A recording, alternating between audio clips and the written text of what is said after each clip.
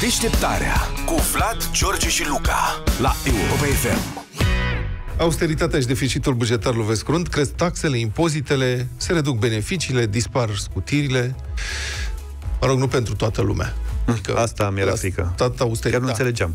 Da, austeritatea are alt înțeles la stat, deci, slavă cerului, mai există oameni pentru care austeritatea încă n-a venit, să ne bucurăm pentru ei, ba chiar din potrivă. În timp ce guvernul cere românilor din mediul privat să strângă cureaua, că se duce țara de râpă, salariile câtorva șefi dintr-o nouă agenție de stat cresc cu 10.000 de lei pe lună. Cu câte 10.000 de lei pe lună? Deci crezi, nu sunt 10.000 de lei pe lună, crezi cu 10.000. Cu, da, cresc cu 10.000 de înțeles lei bine. în plus față de cât au, că oricum au ceva. Adică e vorba despre o super agenție- agenție înființată acum doar câteva luni, Agenția pentru Monitorizarea și Evaluarea Întreprinderilor Publice, AMEPIP, care urmează să se ocupe, nu-i așa, de cele aproape 2000 de întreprinderi deținute de stat, imensa lor majoritate fiind niște găuri negre financiare care au înghițit precum căpcăunii miliarde de euro până acum, producând doar pierderi. Pentru cetățeni, firește, uh-huh. căci sinecuriștii puși politic prin consiliile lor de administrație ies în câștig.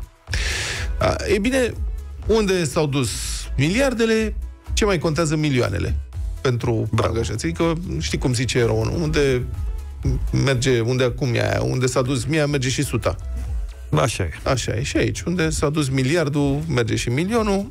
Um, sunt aproape 100 de oameni angajați la această agenție, inclusiv un președinte, doi vicepreședinți, un secretar general, plus personalul cabinetelor, fiecare cu cabinetul lui, firește. Potrivit documentelor de înființare, conducerea agenției avea salarizarea limitată de funcțiile asimilate, adică secretar de stat pentru președinte, adică președintele agenției, se, salariul maximum de secretar de stat și uh, vicepreședintele, salariu maxim subsecretar de stat.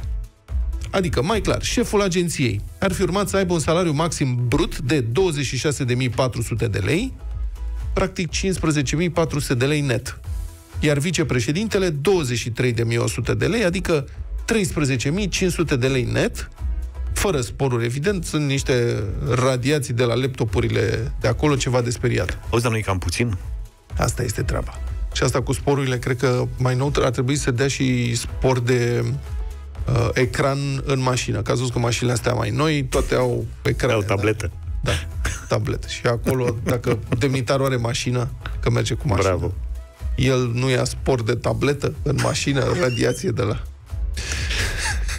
Bun. E foarte puțin, oricum s-a considerat că banii ăștia, 15.000, 13.000 de lei bani în mână fără sporuri, foarte puțin și ca atare Europa Liberă a aflat că la finalul anului trecut s-a schimbat încadrarea șefilor, modificarea le ia statutul de demnitari. Deci nu mai au statut de demnitari, dar le dă dreptul de a fi salarizați cu 50% în plus față de grila de salarizare a bugetarilor, adică să vezi ce noroc, asta înseamnă o creștere cu 10.000 de lei brut la fiecare. Practic o miuță de euro în plus la salariu, bani în mânuță de data asta, uh-huh. net. Conducerea agenției susține că modificarea de statut a fost, de fapt, o clarificare adusă legii inițiale, o clarificare cerută de Comisia Europeană. Adică Comisia a spus nu ne e clară legea și ăștia au zis hai că o facem mai clară, mărim salariile cu 10.000 de lei. Deci uite, domne, că Uniunea Europeană parcă nu mai e așa rea. Vezi? Brusc. Brusc. Altfel, profit de ocazie ca să vă reamintesc că statul are puțin peste 1700 de companii în proprietate, dintre care mai mult de jumătate au datorii restante de 20 de miliarde de lei, adică 4 miliarde de euro. Din banii ăștia, peste 2 treimi, 70% sunt pierduți cu totul, practic, pentru că e vorba de companii falimentare. Asta ca să nu uităm vreodată ce administrator bun e statul român care, capturat fiind de politicieni hărăpăreți și puși pe șperțuială, a refuzat și refuză în continuare să privatizeze mii de companii, preferând să le bage pe pierdere și în faliment, doar ca să împartă sinecuri și să tragă contracte pentru clientela politică.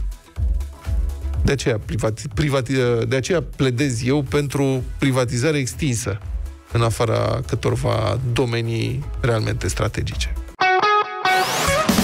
Deșteptarea cu Vlad, George și Luca la Europa FM.